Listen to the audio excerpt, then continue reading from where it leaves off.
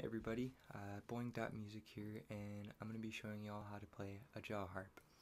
Um, so first things first, you want to consider what kind of jaw harp you're getting. Um, you're not going to be able to play very adequately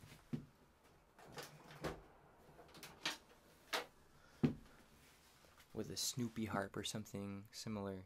This is a Snoopy harp here. They break down really quickly, they're really cheaply made, and there's pretty big gap between the reed and the frame there, so it makes it really hard to produce a sound.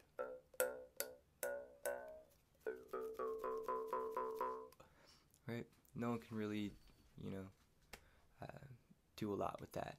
Um, I recommend looking for a potkin, um, which you can find on the harpery.com or on Instagram through World Harps um, are some good places to look, um, or even at local shops um, will often carry um, harps like these, and they produce a pretty nice sound for a pretty cheap price.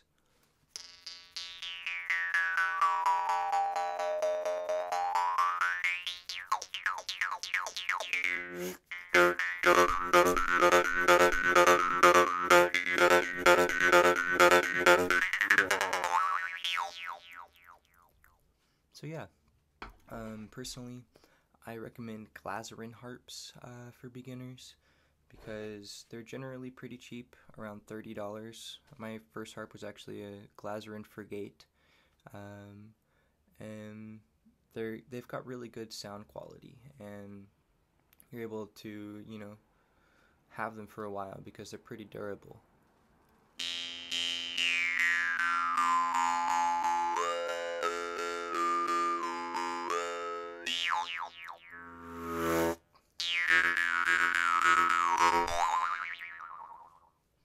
Um, yeah, so once you have your harp, um, how do you play it?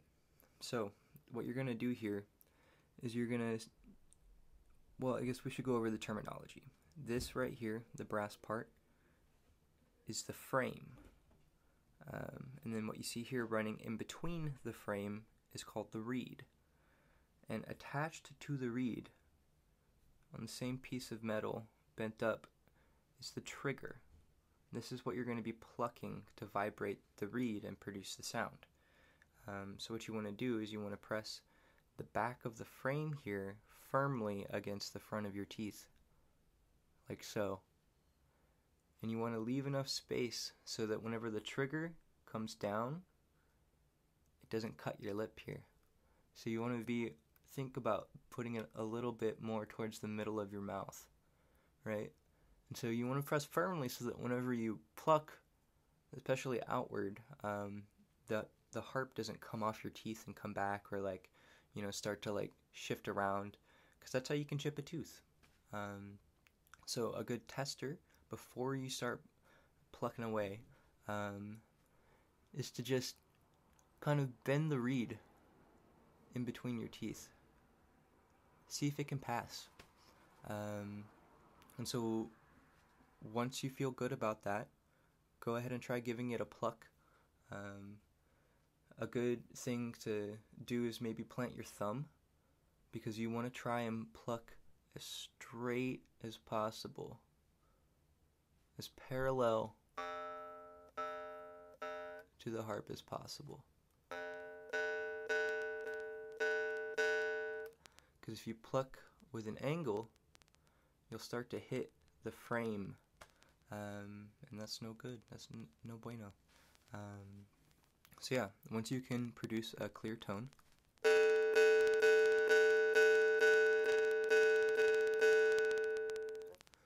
you want to go ahead and try producing different vowel shapes. This will help you to get used to manipulating the sound um, with different shapes of your mouth.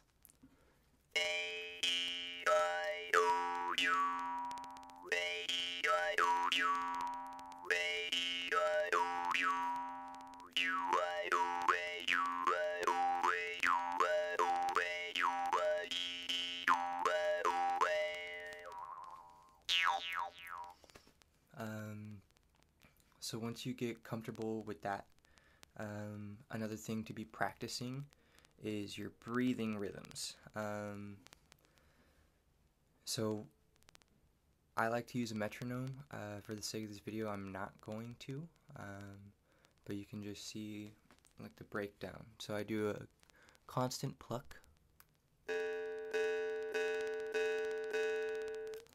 And then I will breathe with the pluck.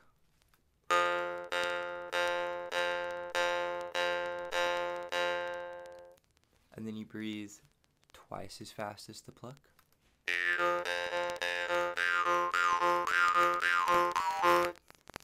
Then you breathe in triplet with the pluck.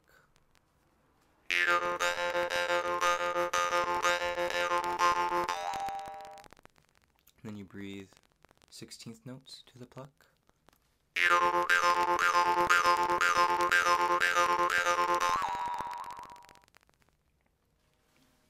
Can keep going. Um,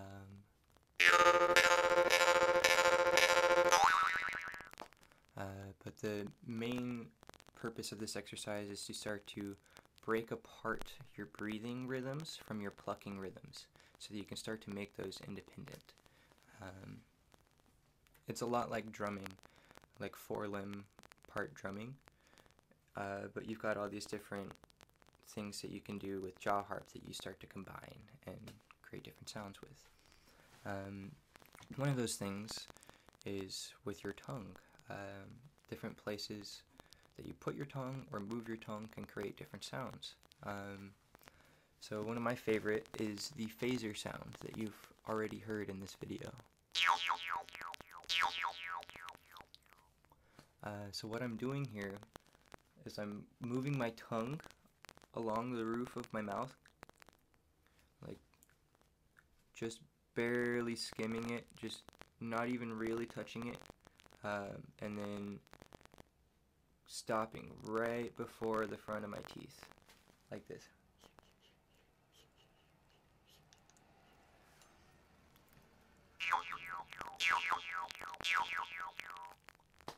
Um, and then uh, another classic move with the tongue. That's just going. You want to be careful not to move the tip of your tongue too far, or it will hit into the reed, um, which we'll talk about later as an actual technique. Um, another tongue technique is just putting the tip of your tongue to the roof of your mouth.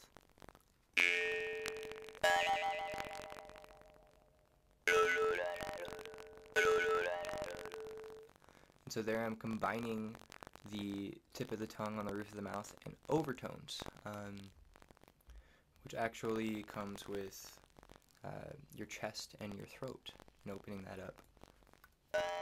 And it's a closed glottis technique. So you're actually closing off your glottis, which is like the bridgeway from your esophagus to your nose canal here. Um, so you can still breathe with a closed glottis, um, but it does make it a lot harder to make the harmonics come out, or the overtones. Um,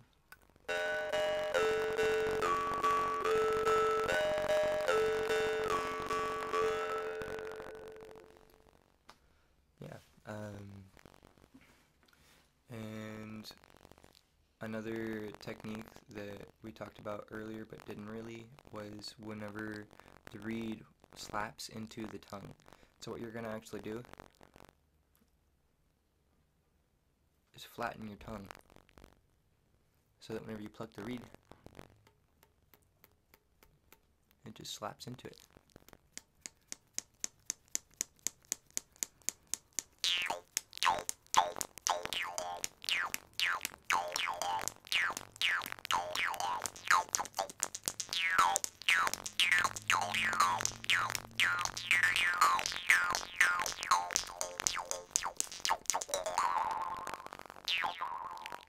Yeah.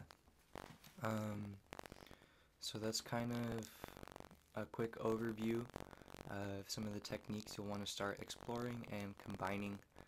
Um, yeah. different exercises. Um, be sure to subscribe and comment if you want to uh, go over a specific technique.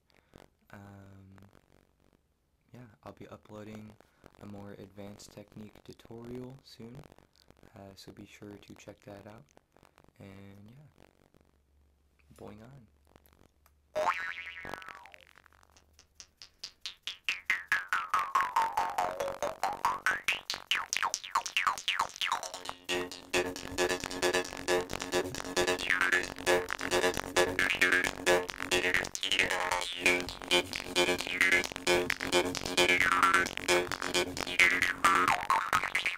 Peace and love.